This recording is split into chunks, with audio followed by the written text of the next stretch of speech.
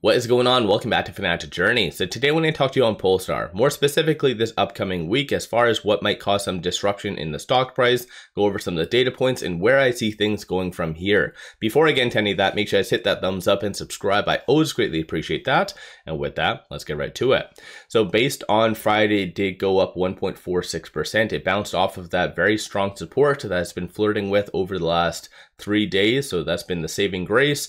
And Friday, there was a little bit reduced volume. So 2.7 million shares being traded, 5.2 is the average. And that has been a little bit more of a common trend over the last week with Polestar, which is kind of weird because that's inverse to what's been actually happening with a lot of the other growth stocks that have been getting a lot more attention on it. So once again, that's something to kind of consider and just be aware of. But as far as this upcoming week, there isn't really anything that could really disrupt the market with the exception of one thing, and that is going to be the Fed interest rate decision that's coming out on Wednesday, September the 20th. So I feel like what Powell does say afterwards will definitely dictate where the market does go. And like I've indicated in the past, I do feel that 25 basis points was factored into the stock market.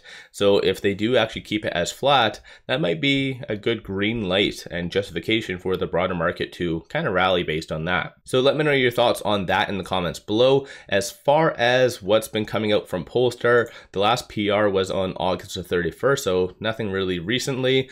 Um, as far as SEC filing, so there was something that did come out on the 14th, and that was just more of an amended Q2 uh, for their earnings. So once again, just to kind of be aware of that. And speaking on deliveries, this was posted on Twitter by Bram. I just wanted to show you because these are some of the projections for Q3 numbers. And as you can see, so Q1 there was around 12,000 for, it looks like this is calculating deliveries, and then 15.8 for um, Q2. And based on at least July and August, then most likely, and assuming what's been coming out, I guess, for September, that is kind of projecting around the 17 to 18,000. So once again, they are on track for their year-end targets. So I think this is a fairly good thing. This is one thing that's really always puzzled me with Polestar is that they actually get the good results. They have good technology. They've been investing a lot of money in technology, in fact, but yet, if you look at the stock price, it's garbage. So kind of weird um, as far as that, but definitely this is something to maybe look forward to potentially. On a side note, I do feel that they really need to explain themselves as well when it comes down to this. I haven't covered this in a video, so this is why I'm bringing this up right now, but about Polestar making its own smartphone. So when this came out, I was kind of like, why? Why exactly? And it looks like based on in here, they talk on how NIO is essentially doing that as well. But ultimately, there is a gap. And by them making this smartphone, they can kind of customize the vehicle to your phone essentially. So I think this might be bigger kind of scenario kind of stuff, but they definitely do need to speak on this during the next upcoming earnings. So I'm not saying that this is a good thing or a bad thing. It'll all come down to money. And if they do lose a lot of money essentially on their next upcoming earnings, then yes, this is something to potentially I guess, scrutinize a little bit more. So until then, this seems like a, a pretty good, interesting idea outside the box. But when it comes down to it, as far as options activity, $17,000 in calls being purchased based on Friday, 32,000 in puts. So based on this information, people are assuming it is going to continue to trend down. And over the last week, it looks like around 609,000 in calls versus 1.33 million in puts. So again, based on this, people are assuming that it is going to continue to trend down.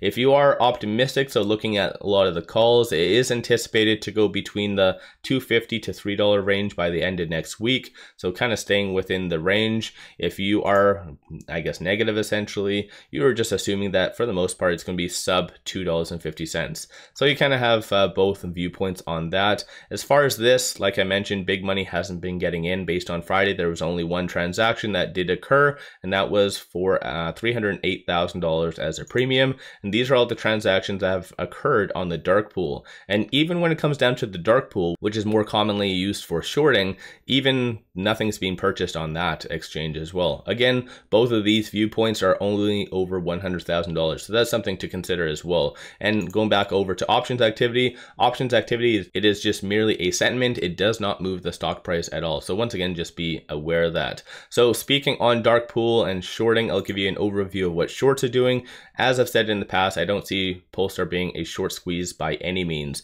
And since it does show short scores zero, you can already tell that Ortex is having some glitches right now, but utilization is 98.18%.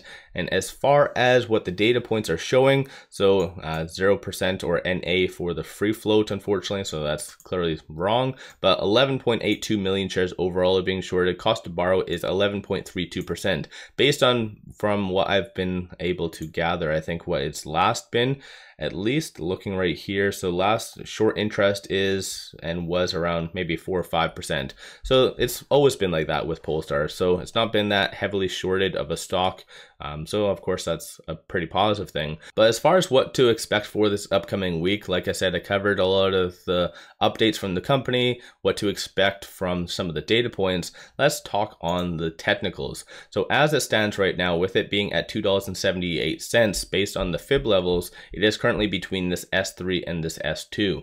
And of course, that isn't good because any stocks that's ultimately trading between that range, so the S3 to the S2, is kind of very bad stocks, essentially. Uh, I would use a little bit more of a stronger word, but when it comes down to a lot of the other comparable EVs, most of them, in fact, are between this S1 and the pivot. So Polestar is still continuously lagging. I do feel that it will come down to a point where Polestar will eventually correct itself, so there will be a very fast spike up, but until then, it seems to be no buyers. And like I mentioned, just the reduced volume, no actual transactions on the dark pool, very little on the secondary market. Somehow just people do not like Polestar uh, as a stock. They like the vehicle because clearly people are buying it um, based on this.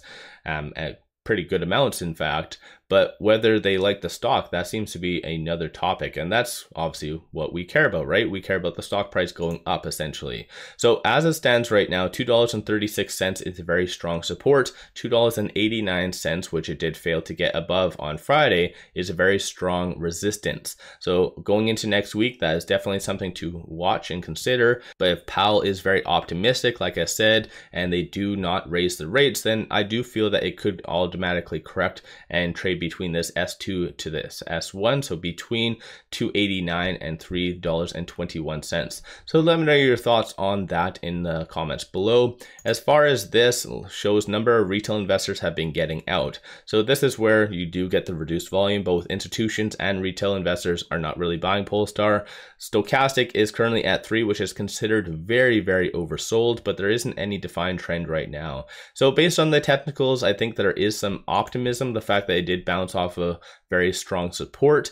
But generally speaking, a lot of the other data points I've been mentioning are kind of negative as of right now. But like I mentioned, a lot of this is just short-term stuff that I've been bringing up. If you do believe in Polestar bigger picture, then yes, take advantage of these discounted prices because you never know, in a decade or several years from now, realistically, I would assume that Polestar would be significantly higher based on a lot of their projections for the following years on deliveries and their technology ramping up. I feel like big things will come for Polestar, but in the short term, it looks like there might be a little bit more pain essentially. But once again, it will all 100% rely back down onto what Powell does say. So let me know your thoughts on all of this. Don't forget to hit that thumbs up and subscribe. I always greatly appreciate that. But one final thing I just wanted to share with you, take advantage of this promo with Moomoo. Sign up for an account, completely free to do so. But if you throw $100 at that account, you get five free stocks. Each stock can be valued up to $2,000. So link in the description below and also the comments to take advantage of this only up until September the 30th. With all that said, I appreciate you all watching.